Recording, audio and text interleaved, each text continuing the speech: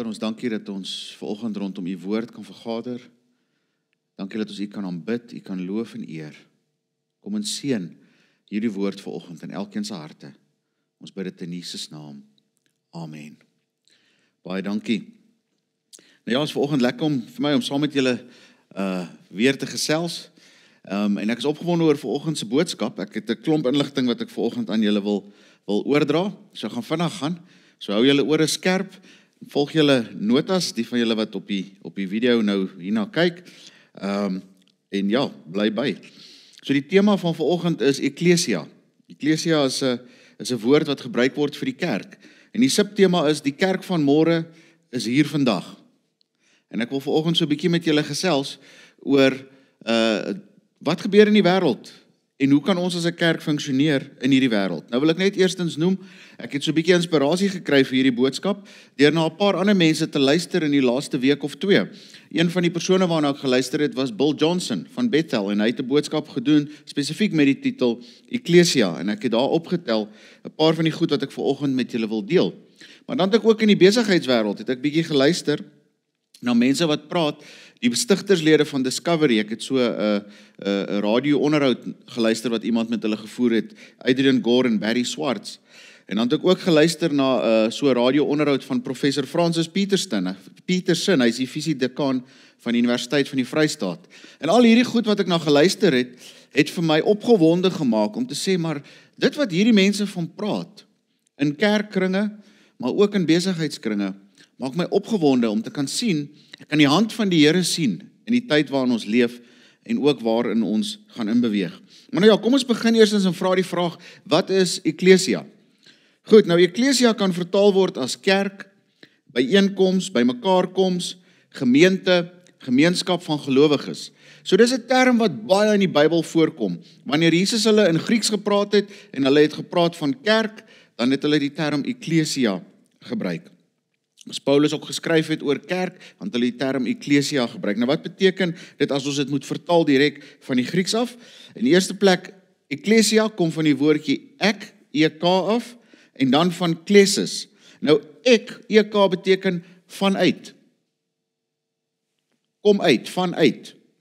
Die woordjie klesis beteken 'n roeping of ook kaleio wat beteken roep. So eintlik as ons nou eklesia direk moet vertaal, dan sê ons Dit is iemand wat geroep word vanuit. Is iemand wat iewers uitgeroep word. So kom ek vat nou 'n 'n sommer 'n voorbeeld. Ek is besig om te braai by die huis en ek het nodig dat iemand vir my die sout moet bring en my kinders sit op die bank in die huis en ek roep hulle vanuit die huis. Ek roep hulle vanuit die huis. Wat doen ek? Eklesia. Eklesia. Bring vir my die sout. Dis eintlik wat eklesia beteken, né? Nou, is dit dus vir ons baie duidelik in ons Christen terme dat dit is God wat ons uitroep vanuit die wêreld om deel te word van sy koninkryk. Maar as ons nou nog so 'n stappie teruggaan en sê waar het die Bybelse skrywers die woord eklesia gekry? Want ek meen die woorde wat hulle gebruik het is mos woorde wat al bestaan het. So voor Jesus nog gekom het, het daar al die term eklesia bestaan. So waar het hulle die term gebruik? Nou kom ek sê gou vir julle. Oorspronklik was eklesia was dit 'n groep landsburgers wat bymekaar gekom het om sake van die staat te bespreek. So dis 'n politieke vergadering. Dis 'n paar mense of landsburgers wat bymekaar gekom het en dan bespreek hulle Jo, wat het president Ramaphosa nou gesê oor lockdown 2 en hoe gaan dit nou ons lewens beïnvloed en wat ook al. En dit is wat eklesia was. Nou eklesia het dan nog verder 'n bietjie dieper betekenis in dat dit landsburgers was wat in 'n ander land as ambassadeurs was wat bymekaar gekom het om 'n politieke vergadering te hou om te besluit hoe gaan hulle die beleid van hulle vaderland toepas in hierdie land waar hulle nou bly. So weer eens, dit is nou byvoorbeeld die Amerikaanse ambassade in Suid-Afrika. En daar is 'n klompie mense wat werk Amerikaners in die ambassade en hulle kom bymekaar en dan sê hulle goed, president Trump het nou gesê ons gaan die wêreld nou op hierdie en hierdie en hierdie manier benader. So hoe gaan ons dit wat ons regering wil doen hier in Suid-Afrika nou toepas? Verstaan julle? So wat beteken dit vir ons as gelowiges? Ons is uitgeroep uit die wêreld uit. Ons is nie burgers van hierdie wêreld nie. Ons is burgers van 'n ander land, van Vaderland wat hemel is. En ons as burgers kom by mekaar in groepies en dan bespreek ons die beleid van ons Vader. En hoe gaan ons hierdie beleid en hierdie wil van ons Vader hier in ons omgewing van toepassing maak? Dis wat eklesia is. Eklesia was nog altyd 'n groep mense wat uitgeroep is vanuit die wêreld om hier bymekaar te sit en te bespreek hoe gaan ons as verteenwoordigers van Vaderland Vader se wil en hart uitleef in hierdie wêreld. Maak dit vir julle sin? Dit is wat eklesia is. Goed, so die algemeen aanvaarde definisie as jy gaan boeke lees en bietjie teologie bestudeer, as iemand vir jou vra wat is kerk? En ons moet 'n definisie gee. Nou hierdie is kerk of eklesia. Die kerk is 'n goddelike saamgeroepte of uitgeroepte gemeenskap van gelowiges. Dis wat kerk is. Dit is 'n goddelike saamgeroepte of uitgeroepte gemeenskap van gelowiges, 'n groep mense wat saam uitgeroep is uit die wêreld. Hulle het gemeenskap met mekaar, community en hulle verteenwoordig God se wil en plan hier op aarde. Dit is wat kerk is.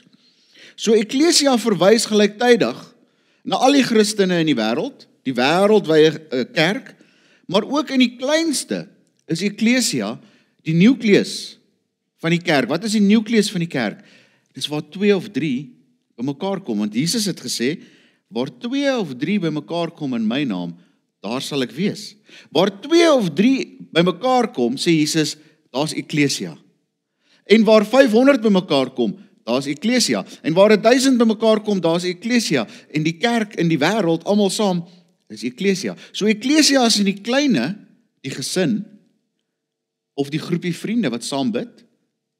Maar in die grootte is dit die kerk wat bymekaar kom en so aan. So wat is dan nou die doel van eklesia? So kom ons ek dink ons almal verstaan nou wat is eklesia.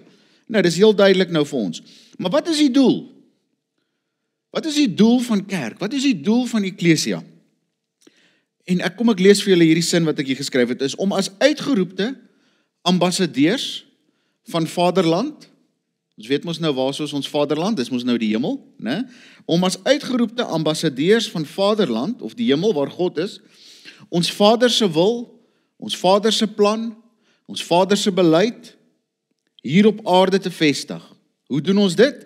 Deur ons lewens in samewerking met die Heilige Gees. Want onthou die Heilige Gees kom en hy fluister in ons oor en hy sê: "Uh Vader wil hê jy moet op hierdie manier leef. Vader wil hê jy moet op hierdie manier optree." Sien die Heilige Gees is amper soos die hoofambassadeur, né? So kom ons sê nou weer eens die groepie Amerikaanse mense in Suid-Afrika kom nou bymekaar en dan sê hulle goed, ons dink ons moet dit en dit en dit doen hier in Suid-Afrika. As Amerikaners, dan kom die hoofambassadeur en sê: "Nee, nee, nee, Ek het nou net 'n oproep gehad met die president en die president sê ons moet daai plan en daai plan verander. Jy sien dis wat die Heilige Gees doen. Die Heilige Gees kom en hy sê ek is julle toegang tot Vaderland, tot Hemelse Vader en ek wys vir julle wat op Vader se hart is. En soos wat julle bymekaar kom as 2 of 3, as 10, as 50, as 100, as 150, as 500, wil ek vir julle wys hoe moet julle God se wil en God se plan hier op aarde vestig. En dit is wat eklesia is. Nou kom ek wys net gou vir julle 'n paar skrifgedeeltes wat hierby aansluit. Matteus 6 vers 9 tot 13 sê die volgende: So moet julle bid. Ons Vader wat in die hemel is, laat U naam geheilig word. Laat U koninkryk kom. Waar moet die koninkryk kom? Hier op aarde. Laat U koninkryk Kom, help ons om u koninkryk te vestig in ons lewens en hier op aarde. Laat u wil geskied op aarde soos ook in die hemel. Wat wil God bereik hier op aarde? Hy wil hê sy kerk, sy eklesia, moet dit wat in die hemel sy plan is, hier op aarde vestig. En nou kan ons vir onsself 'n bietjie gaan vra. Wat is God se plan? Hoe gaan dit in die hemel? Kom ons lees 'n bietjie verder. Hy sê: "Gee ons vandag ons daaglikse brood." Ek wonder, dink julle dat daar's iemand wat honger ly in die hemel? Ek dink nie so nie. Dink julle daar's enige tekorte in die hemel? Nee, ek dink nie so nie. Dink julle daar is geestelike tekorte in die hemel? Mense het nie genoeg uh, in die hemel is daar nie genoeg tyd om om om tyd saam met Vader te spandeer of om die woord te lees of om te aanbid nie. Nee, die hemel is 'n plek van aanbidding. Dis 'n plek van van van uh God se woord en van teenwoordigheid van God. So nou sê hy gee ons vandag ons daaglikse brood. Dit is fisies, maar ook geestelik. So wat is die wil van God vir mense op hierdie aarde? Is om genoeg te hê om te eet fisies? Is om genoeg te hê om geestelik te eet, om geestelik gevoed te wees. En wie se werk is dit om dit te vestig? Die eklesia, die kerk se werk. Laat u koninkryk kom. Laat u wil ook op die aarde geskied, net soos in die hemel. Gee ons vandag ons daaglikse brood. Vergeef ons ons oortredings, soos ons ook die vergewe wat teen ons oortree. Dink julle daar's iemand in die hemel wat met bitterheid rondloop? 'n Engel wat bitter is vir 'n ander engel? Nee, in die hemel is daar nie bitterheid nie. Word daar in die hemel vergifnis toegepas? Ja.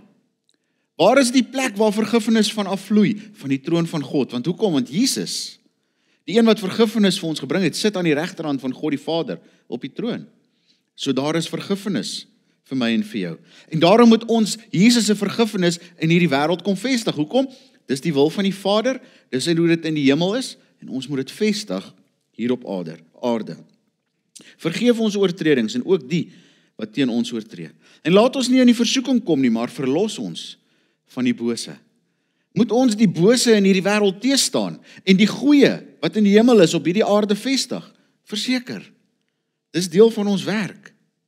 Kom ons lees 'n bietjie verder. Johannes 5 vers 19 tot 20 sê die volgende: Dit verseker ek julle. Die seun kan niks uit sy eie doen nie. Hy doen maar net wat hy die Vader sien doen. Wat die Vader ook al doen, doen die seun ook net so. Ek praat hier van Jesus. Die Vader het die seun lief en wys hom alles wat hy doen. En hy sal hom nog groter dade as hierdie wys sodat julle almal verbaas sal staan. Nou my vraag is, as Jesus hierdie woorde sê en sy hoofdoel in die lewe is om te doen dit wat die Vader se wil is hier op aarde. Hoeveel te meer moet ek en jy wat sê ons volg Jesus Hoeveel te meer moet ek en jy nie dan sê Jesus deur die Gees wys vir ons net wat Vader se wil is sodat ons dit kan vestig hier op aarde. Die hele die hele getuienis van Jesus as jy die evangelies gaan lees, was altyd een wat gesê het ek doen net wat die Vader vir my sê om te doen. Ek doen net wat die Vader vir my wys om te doen. Jy sien dis 'n ware ambassadeur. Sien as ons 'n ambassadeur is, sê nou maar ek is 'n ambassadeur van Suid-Afrika in Amerika, maar as ek daar is, dan gaan sê ek vir die Amerikaners, ag, moenie bekommer oor wat die Suid-Afrikaanse regering sê nie. Sê doen wat ek vir julle sê om te doen. Kan ek dit doen? Nee, ek sal net so my werk verloor. Jy sien want as ambassadeur is die verantwoordelikheid op my om my president se wil toe te pas. Om my regering se beleid toe te pas. En onthou dis wat ons gesê het wat eklesia is. So wat moet ons as eklesia doen? Is ons moet deur Jesus die stem van Vader hoor en die wil van Vader soek en dit in ons lewens en in ons wêreld van toepassing maak. Nou kom ons by Matteus 18 vers 18 tot 20. Dit verseker ek julle. Wat julle ook al op die aarde toesluit, Met wie praat Jesus hier? Hy praat met die eklesia, hy praat met die gelowiges. Hy sê wat julle ook al op die aarde toesluit, sal in die hemel toegesluit bly. En wat julle ook al op die aarde oopsluit, sal in die hemel oopgesluit bly. Verder verseker ek julle, as twee van julle op aarde oor enige saak saamstem en daaroor bid, sal my Vader wat in die hemel is, hulle dit laat kry. Want waar twee of drie in my naam is, daar is ek by hulle. Nou jy moet onthou dat deur die jare van vertaling kom goed partykeer so bietjie andersders uit as die oorspronklike bedoeling. Maar as ons hierdie gedeelte moet gaan lees in die lig van alles wat ons nou gesê het, dan eintlik wat hierso, as ons dit reg moet verstaan, eintlik wat hierso staan sê, dit verseker ek julle, wat in die hemel toegesluit is, moet julle op aarde sluit. Wat in die hemel oopgesluit is, moet julle op aarde oopsluit. Verder verseker ek julle, as julle twee van julle op aarde oor enige saak saamstem, en daaroor bid wat my Vader in die hemel reeds gedoen wil hê, dan sal dit so wees. Dis eintlik hoe ons hom reg moet lees in die konteks van Jesus se lewe. Jy sien hierdie gedeelte gaan nie en te sê vanoggend staan ek op en nou begin ek, joh, ek is nou lus vir 'n nuwe kar. Ek wil graag 'n Mercedes hê. Nou begin ek te sê, ek sluit oop in die naam van Jesus, ek gaan 'n nuwe Mercedes kry. Ek sluit oop 'n nuwe Mercedes. Ek sluit oop 'n nuwe Mercedes. Is dit God se wil vir jou lewe om nou daai nuwe Mercedes te hê? Of gaan jy jouself in 'n diepe skuld in 'n moeilike tyd vasmaak?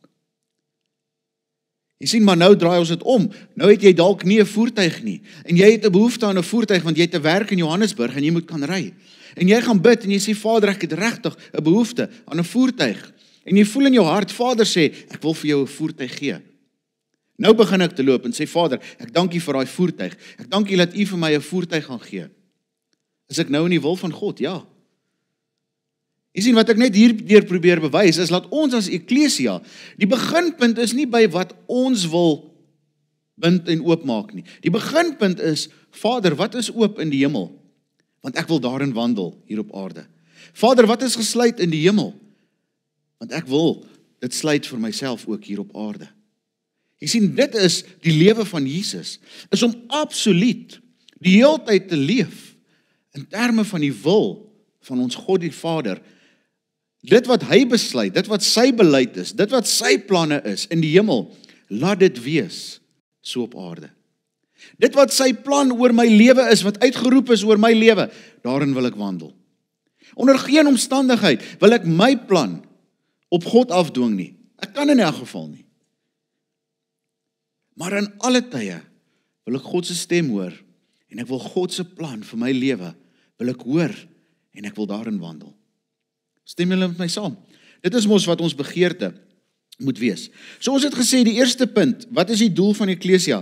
Dit is om as uitgeroepte ambassadeurs van Vaderland hier te leef om Vader se wil, plan en beleid hier op aarde te vestig deur ons lewens in samewerking met die Heilige Gees. Goed, dit is ons eerste gedagte. Dit is wat eklesia voor is. Wat is die tweede doel van eklesia? is om as ambassadeurs of disippels van Vaderland hier op aarde te vergader en te leef. Jy sien, die tweede punt is, die eerste een is om om God se wil te vestig. Die tweede een is om te leef soos 'n ambassadeur. Kom ons vat byvoorbeeld weer, ons sê dat daar 'n ambassade en die beleid is die Britse ambassade in Pretoria en daar is 'n klere drag 'n kode. As jy by die Britse ambassade werk, dan dra jy 'n pak klere en 'n das en wat ook al. Nou kom daar iemand nou sê nee man ek's nou in Suid-Afrika gaan nou vellies dra en 'n kort broek en 'n lekker kakie hemp. Kan hy self besluit om net die reëls so te verander? Nee. Hy moet leef as 'n Britse gesant in Suid-Afrika. En dit wat hulle van hom verwag is wat hy moet doen. Jy sien daarom moet ek en jy ook so leef. Handeling 1 vers 8 sê, maar julle sal krag ontvang wanneer die Heilige Gees oor julle kom en julle sal my getuies wees in Jerusalem, sowel as in die hele Judea en Samaria tot in die uithoeke van die wêreld. Hoe wees ek 'n getuie? Hoe wees ek 'n getuie? Ek lyk soos die een wat my gestuur het. Mense moenie wonder is jy nou 'n Britse ambassadeur of nie. Jy moet lyk soos die een wat jou gestuur het. Mense moenie wonder of ek en jy gelowige mense is nie. Hulle moenie wonder as ons bymekaar kom as eklesia. Bid hulle nou of wat doen hulle nou nie? Ons moet vir hulle wys deur ons lewens dat ons lyk soos die een wie ons gestuur het.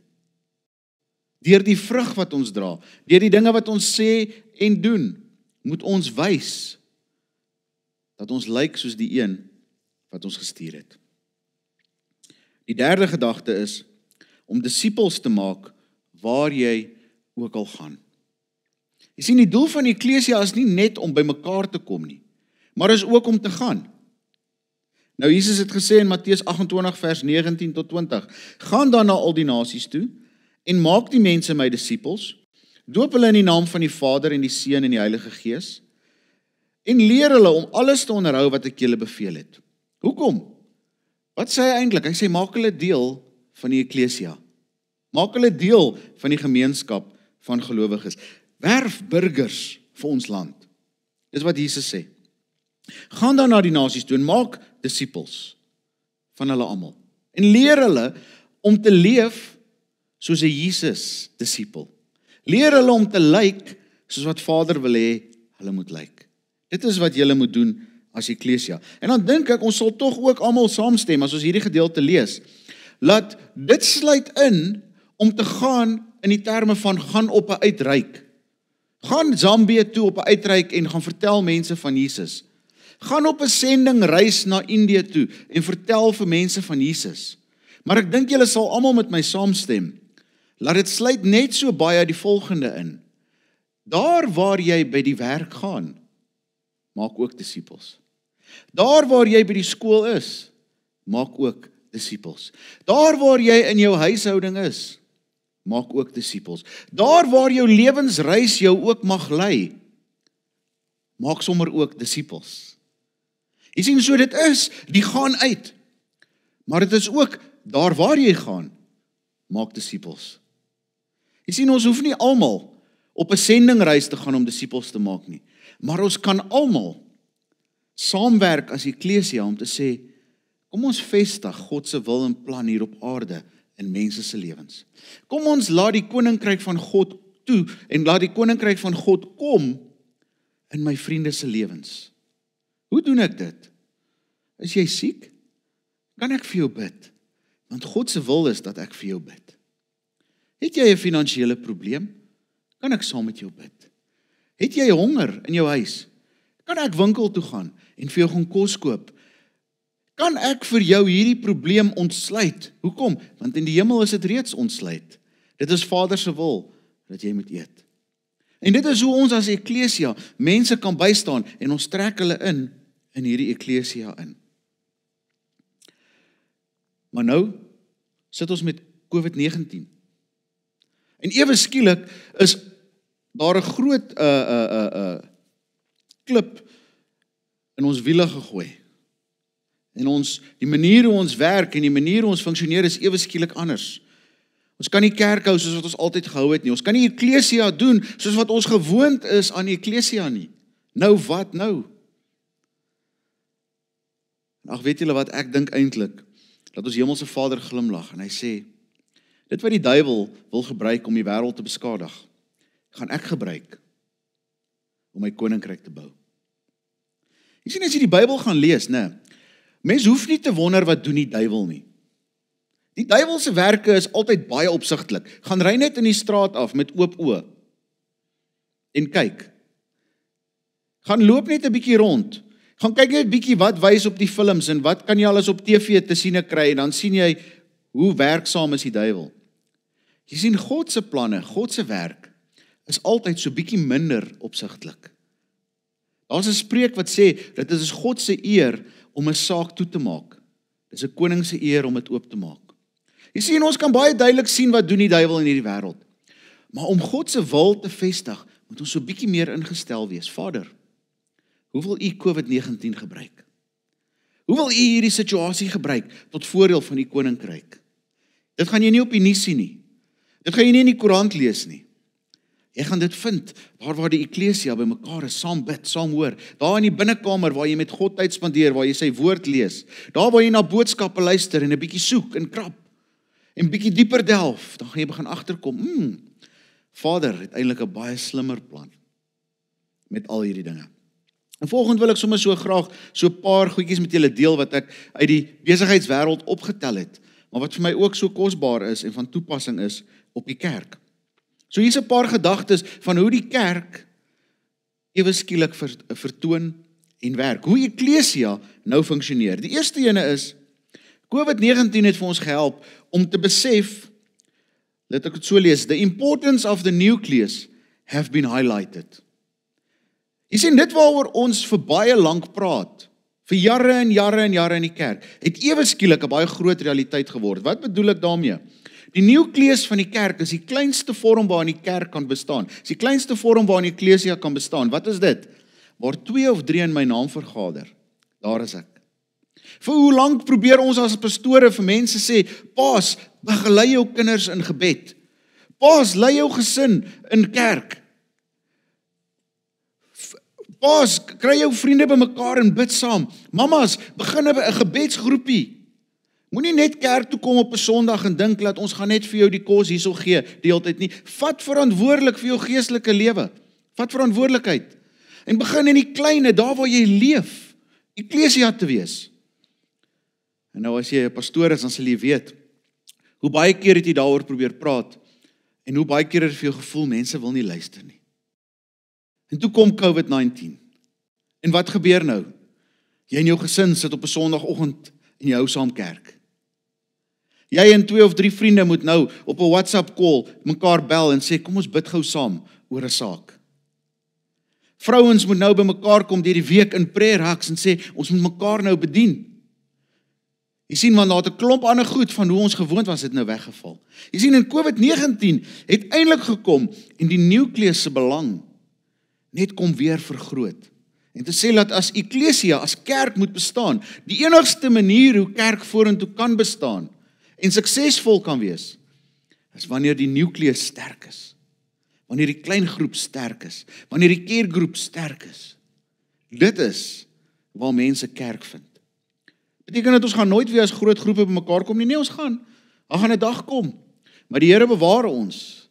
Dat ons nie maar net weer terugval en sê ag, Ek hoef nie saam my gesin te bid nie. Ek hoef nie my gesin te begelei in gebed en in kerk wees nie. Nee. Ewe skielik het die nukleus van belang geword. Nou in die gesprek wat ek geluister het, sê uh, die mense van Discovery dat hoeveel jare probeer hulle met die Vitality program vir mense te kry om te sê vat verantwoordelikheid vir jou gesondheid. Nou die van julle wat by Discovery is sal weet waarvan ek praat. As jy nou nie daar is nie, sal jy dalk nou nie heeltemal weet nie. Maar hulle probeer mense kry om verantwoordelikheid te vat vir hulle gesondheid. En toe wat gebeur in COVID-19?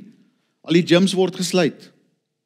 Jy mag nie meer 'n parkrun saam met ander mense gaan doen nie. Jy sien jy kan nie meer die verantwoordelikheid skuif na ander instansies en ander mense toe nie. Jy kan nie net gou-gou by die gym stop. Ek het dit nog nooit gedoen nie. Gou die kaart swipe. 'n Bietjie water gaan drink in die toilet, uitstap. Ek bedoel nie die toilet in die in die wasbak nie uitstap. Ek het my 100 punte. Enige iemand?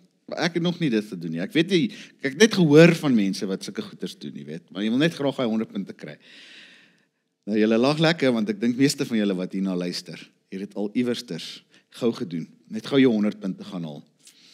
Die punt is, Discovery sê nog nooit het hulle so 'n geweldige toename gehad van mense wat sê hulle vat nou verantwoordelikheid vir hulle eie gesondheid. Nou draf hulle, hulle oefen by die huis en hulle doen allerlei dinge nou by die huis om gesond te wees. Hoekom? Want hulle kan nie meer afhanklik wees van die stelsels nie. The importance of the nucleus have been highlighted. En God gebruik dit vir sy kerk. Die tweede punt wat ek hoor in die besigheidswêreld en wat ek kan sien werklik van toepassing is op ons as kerk, as eklesia, is hulle praat van stretched delivery models verlengde afleweringsmodelle.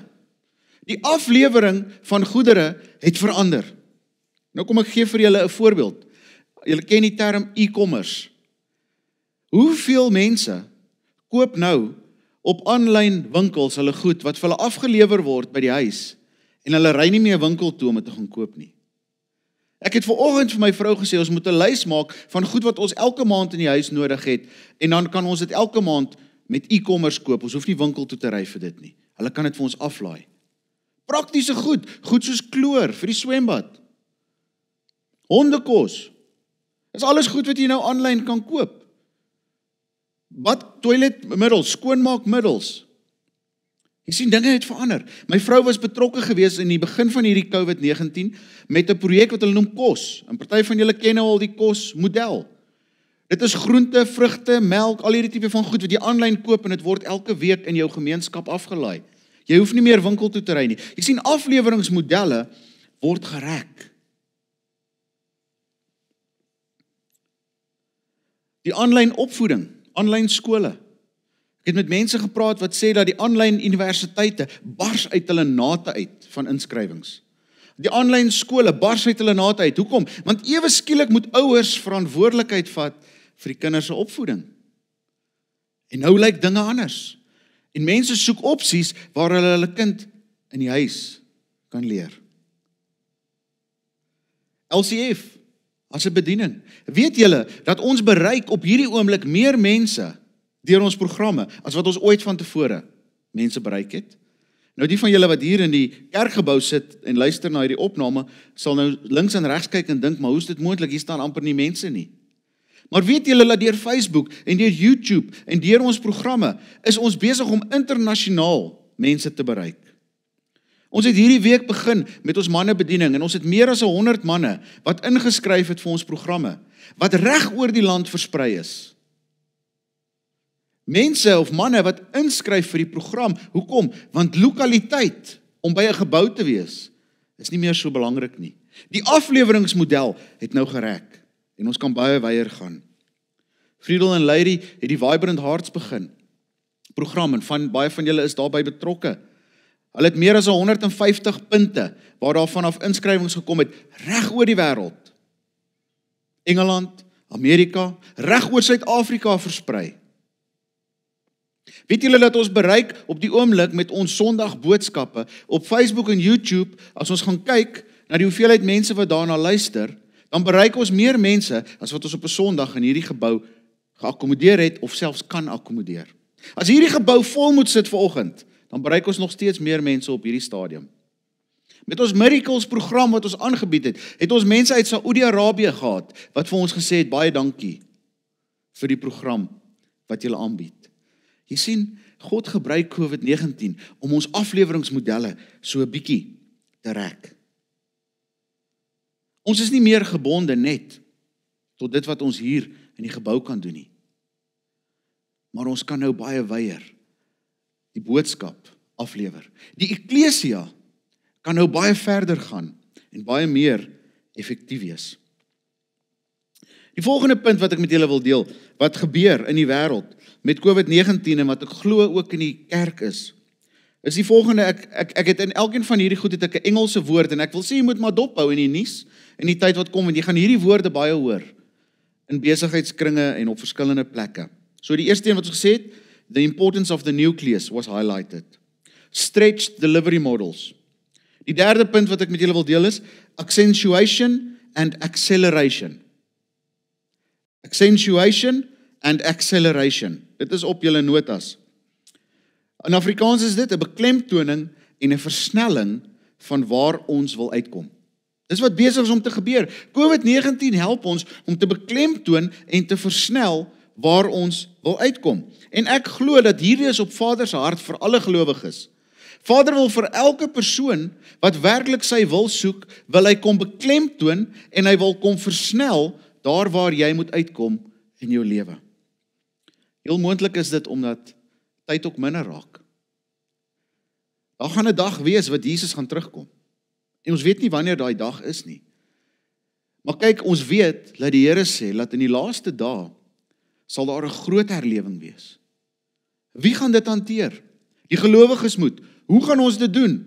Daar gaan 'n beklemtoning wees van ons take en daar gaan 'n versnelling wees in ons metodes om die wêreld te bereik, om disippels te maak van alle nasies.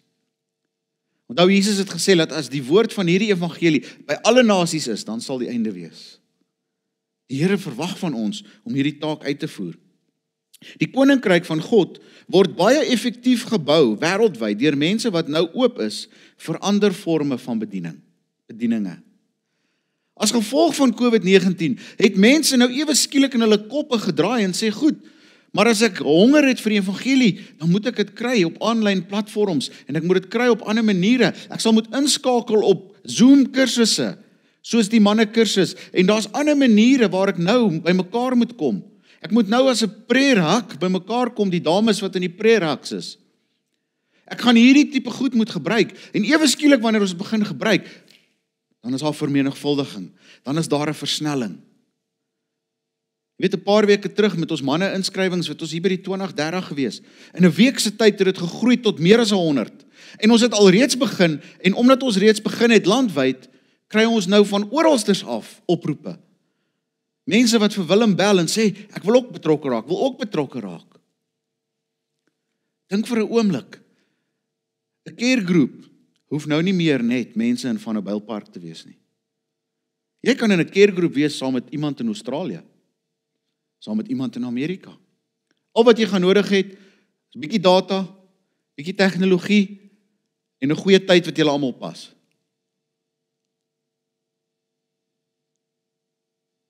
Kyk net wat doen die Here. Hy's besig om die eklesia te vergroot, want nou is dit nie meer waar 2 of 3 by 'n sitkamer bymekaar kom nie. Dit is nou waar 2 of 3 aanlyn bymekaar kom. Ek het 'n vriend in Tulsa, ons praat weekliks. Weekliks kom ons bymekaar. En ons begin altyd met 'n gebed en eindig met 'n gebed. So wat sê dit vir ons? Jesus is daar. Al is hy in Amerika en ek is in Suid-Afrika. Die geleenthede is enorm vir ons nou. LCF se impak kan nou vergroot. Ons bediening kan nou verbreed. Ons detail aandag aan sekere goed kan nou verbeter. Beklemtoning en versnelling kan nou plaasvind vir waar ons wil uitkom.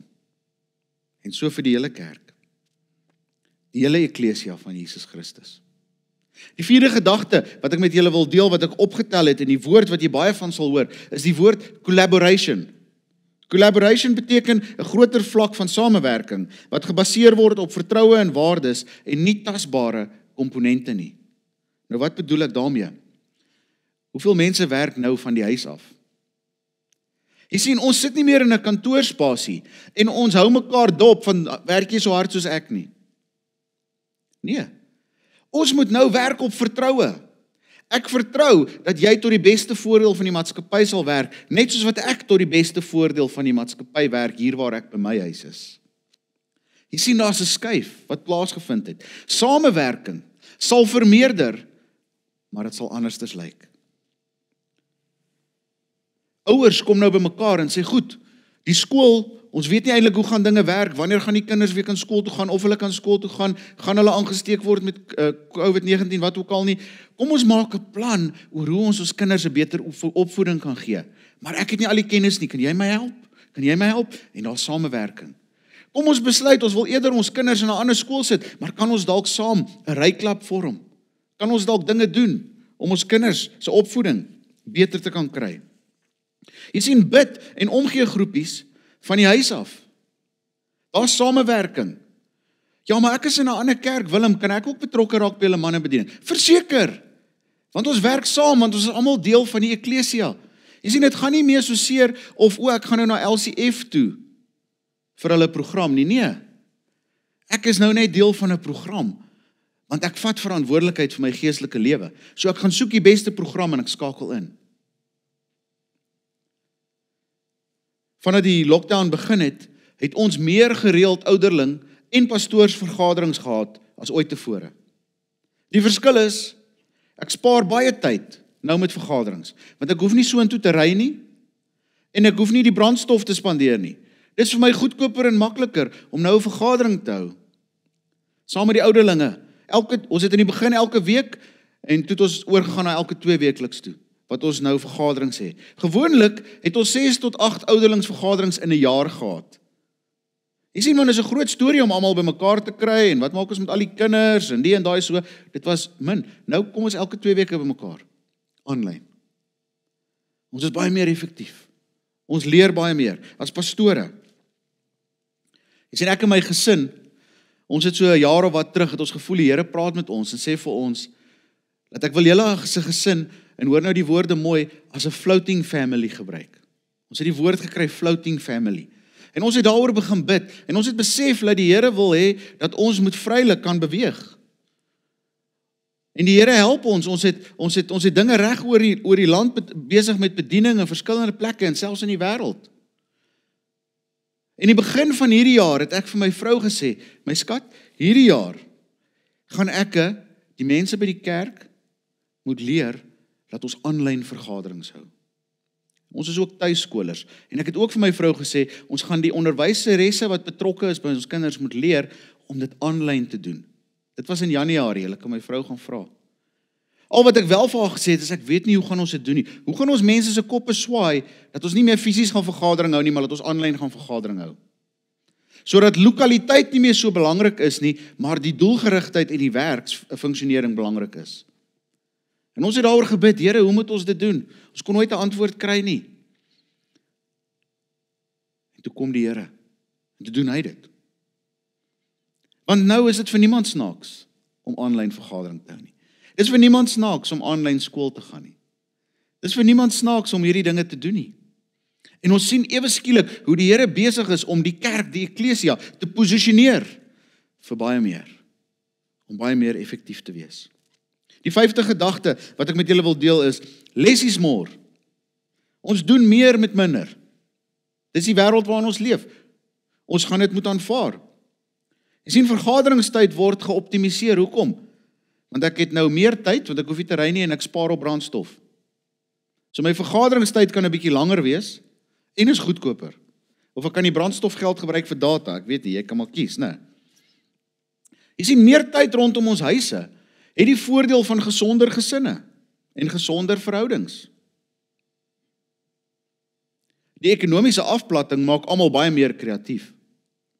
Want ewe skielik is dit 'n geplant en 'n gebak en 'n gebrou. Want hoekom? Want elkeen vat verantwoordelikheid vir hulle lewens. Ek kan nie so baie geld by die dokter spandeer nie, so ek moet bietjie harder begin oefen. Ek moet gesonder wees.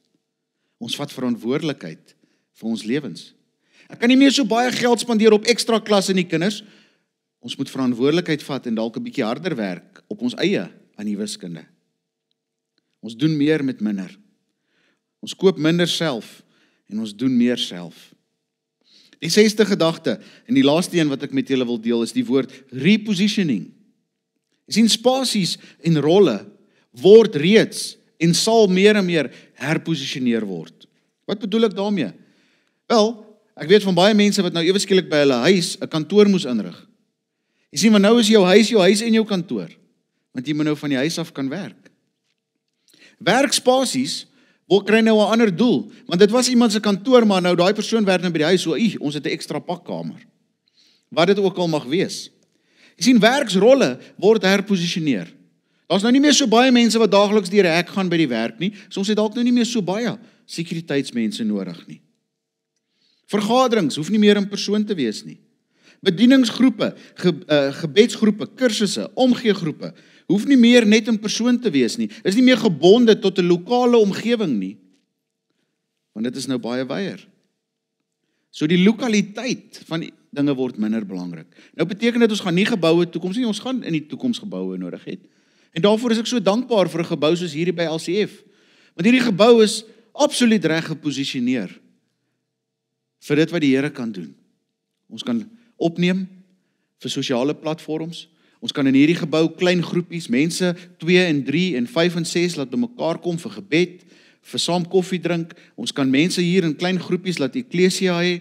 Ons kan op Sondag hier ons dinge doen, ons kan konferensies hier aanbied. Hierdie gebou is so ideaal geposisioneer en ek dank die Here daarvoor dat hy ons alreeds 2 of 3 jaar terug gelei het om te dink met die toekoms in gedagte. Lokaliteit gaan nie meer so baie tel nie. Dit sal steeds belangrik wees, maar dinge verander. Ons sou 'n program gedoen het vir 'n klompie Amerikaanse besigheidsstudente hierdie jaar. Ons sou hulle ontvang het uh, hier in van 'n byl en ons sou hulle ontvang het in George en ons sou met hulle 'n hele program gedoen het. En toe kom COVID-19 en al die lande word toegemaak, niemand kan vlieg nie, wat ook al. En hulle kontak ons en vra, is daar enige manier hoe ons hierdie program nog steeds kan doen sonder dat hulle fisies kom? Ons het gebid En ons het gevoel die Here het vir ons gesê en vir ons die antwoord gegee, want weer eens wat sy wil in die hemel is, moet op aarde gebeur. En ons het ons harte gevoel, is die wil van Vader, kom ons doen dit aanlyn, virtueel. En ons het vir 6 weke 'n program gedoen, 'n virtuele entrepreneurskapsprogram gedoen. Het die program tot einde gekom? Nee. Was daar ander studente wat betrokke geraak het? Ja. Was ons amper meer effektief effektief? Ja het die Here vir ons 'n geweldige deur oopgemaak om te herposisioneer, verseker. Het ons baie dinge geleer in die proses, beslis. En dink julle Vader glimlag? Ek dink Vader glimlag. En hy sê, "Hey, julle het dit gekry. Ek is so bly." Jy weet ek dink, jy weet ons dink die regering bepaal hierdie lockdowns en alles. Ek dink as die hemelse Vader, hy kyk net. Kry my kinders nou die boodskap of nie? O, hulle kry dit nog, okay, bietjie langer lockdown. Hulle net nog 'n bietjie leer. Kry hulle dit nou al? Ag nee, nog nie. Okay. Kom ons gee vir lockdown 2, maar nog nie 1 nie, want hulle moet nog so 'n bietjie leer. Né? Nee. En dan wanneer ons geleer het, dan gaan Vader sê, "Oké okay, meneer eh, Ramaphosa, maak dit nou maar oop, jy weet, laat my kinders het geleer wat hulle moes leer." Nou ag vanoggend wil ek hierdie boodskap afsluit deur vir julle te sê, deur die krag van die Heilige Gees kan gelowiges as eklesia in die kleinste vorm saamwerk en baie verder reik en baie meer effektief die koninkryk bou. Ons hoef nie al die goeie dinge van die vorige era weg te gooi nie, maar ons kan dit inkorporeer as fondasie en as krag vir die eklesia van môre wat hier is vandag. Kan ek dit herhaal? Deur die krag van die Heilige Gees kan gelowiges in die kleinste moontlike vorm saamwerk en baie verder reik en baie meer effektief die koninkryk bou. Ons hoef nie al die goeie van die vorige era weg te gooi nie, maar ons kan dit inkorporeer as fondasie en krag vir die eklesia van môre wat hier is vandag. Dit het gekom. Kan ons daarmee leef? Ons moet. Het Vader groot planne? Verseker. Gaan ons dit doen? Ja. Gaan ons regkom? Ja. Ons is opgewonde. Jy sien want God is in beheer. 2 Petrus 1 vers 10 sê die volgende: Daarom broers en natuurlik ook susters, moet julle julle des te meer daarvoor beywer om deur julle lewe te bewys dat God julle geroep en verkies het.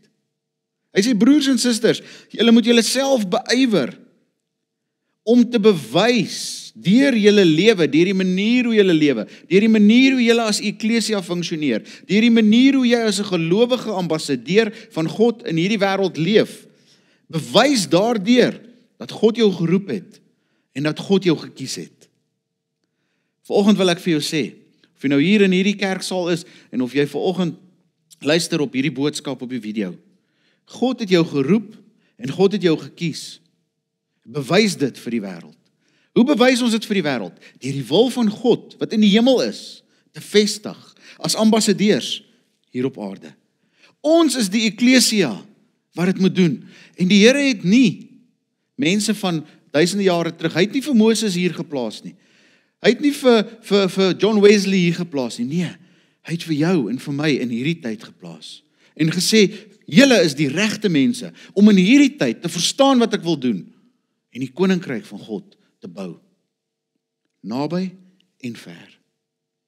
Julle is die regte mense.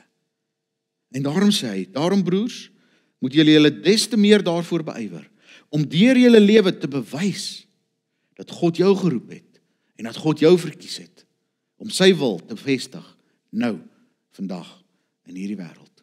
Kom ons bid saam. Hemelvader, Ons dankie vir hierdie boodskap, hierdie opwindende boodskap om te weet dat U 'n wonderlike plan vir die wêreld en vir die kerk. En alhoewel ons baie duidelik op die nuus sien wat die duiwel se plan is, moet ons so 'n bietjie gaan soek. Wat is U plan? Maar Vader, wanneer ons dit hoor en wanneer ons dit raak sien, o, oh, dan raak ons opgewonde. O, oh, dan wil ons net sê, Here, ons is so bly. Ons is so dankbaar dat ons deel is van U plan. Laat ons in hierdie tyd leef om deel te wees van hierdie groot avontuur en laat ons die koninkryk van God kan vestig op aarde. Dankie Here dat U my en elke hoorder van hierdie boodskap gekies het en geroep het om te lewe in 'n tyd soos nou. Dankie dat U ons geroep het en dat U ons voorberei en dat U vir ons die kennis en die vermoëns gee om te lewe wat U ons voorroep. Vader, mag U volmaakte wil kom in ons lewens soos in die hemel so ook hier op aarde. Amen.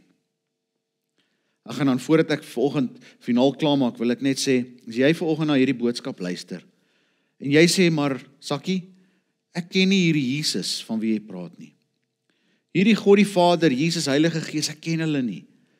As jy Jesus nog nooit aangeneem het in jou lewe nie, as jy nog nooit op die plek gekom het waar jy gesê het Here, ek wil U wil in my lewe laat geskied nie. As jy nog nooit gesê het Here, vergewe my my sondes, dan wil ek jou vanoggend die kans gee om Jesus aan te neem as jou saligmaker en jou verlosser.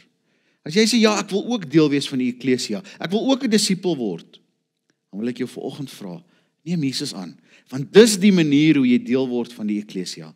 As jy neem Jesus aan, En dan gaan jy in disippelskap, dan word jy soos Jesus. En dan is jy deel van hierdie gemeenskap van gelowiges.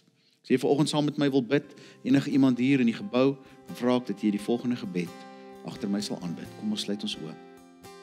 Here Jesus, ek gee vanoggend my lewe in U hande. Ek vra dat U heerskappy sal neem in my lewe. Dat U my sal uitroep uit die duisternis en my sal kom plaas in die koninkryk van lig. Ek vra dat U my siel sal red. Ek vra dat U die koning van my lewe sal word en dat U my sal help om deel te word van God se wil en God se plan van my lewe. Jesus, ek neem U vandag aan. Ek kies om U te volg. Ek kies om my lewe in U hande te plaas. Amen. As jy hierdie gebed gebid het, wil ek vir jou sê baie mooi, baie goed. Skakel in op al LCF se programme. Daar's baie kos, goeie kos wat jou sal help om te groei.